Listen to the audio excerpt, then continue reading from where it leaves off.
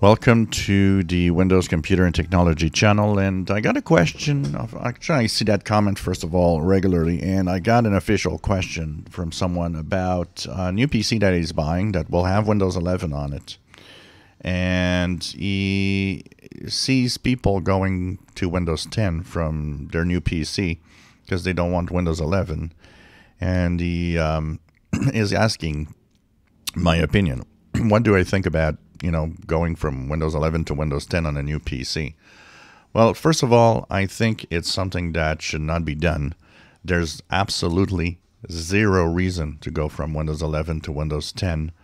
Um, it's a waste of time, a waste of resource, and the other problem is you will eventually have to go back to Windows 11.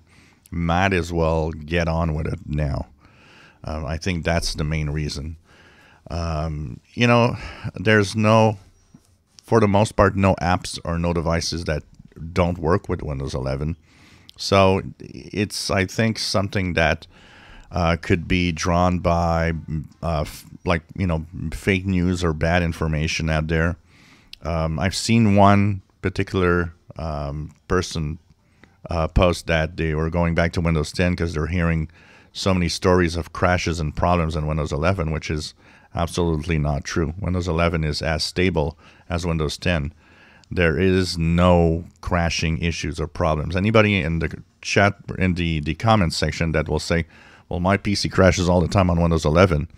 Look at your PC. There's a problem with your PC. There's not a problem with Windows, and that is obvious. And um, you know, people for some reason get hurt if we tell them that their PC has a problem. Uh, it could be software. It could be simply something that you have installed that you shouldn't have, or maybe too many software, too much stuff. It could be bad drivers. Uh, but uh, one thing for sure is that nope, Windows 11 does not crash more than Windows 10. That is um, really false information that people are talking about.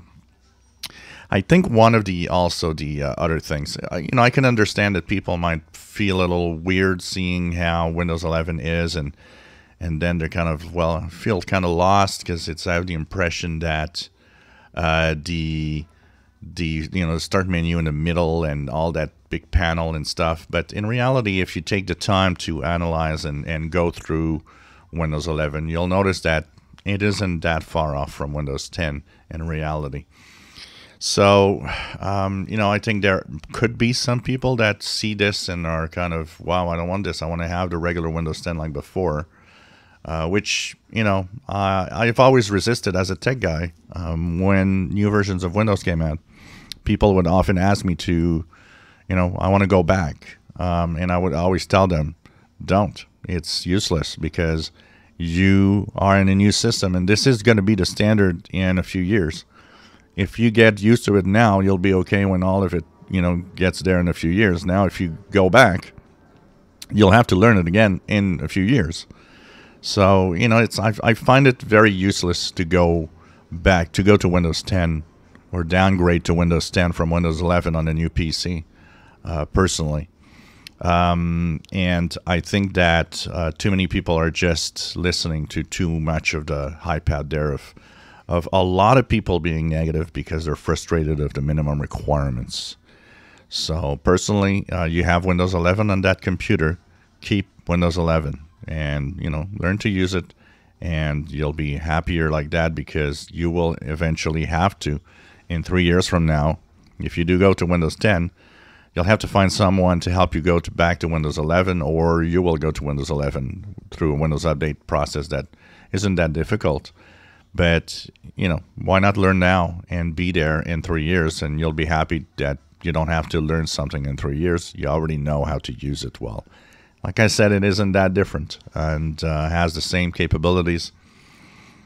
Um, you know, not much um, to say that, you know, nothing to say that you should go to Windows 10 if you're on Windows 11.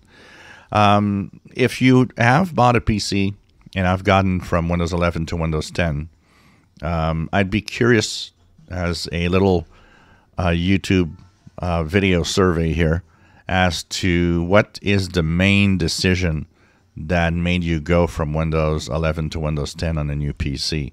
You can actually put that comment in the uh, below, and uh, be polite and be um, you know don't just say I hate it. That's not a answer, and it's not a valid entry. Um, it's it's when people tell me it's like I hate it. There's nothing to hate on Windows 11. It's different. Um, I personally find it's refreshing, but it's not perfect. Absolutely. If you enjoy my videos, please subscribe, give us a thumbs up. Thank you for watching.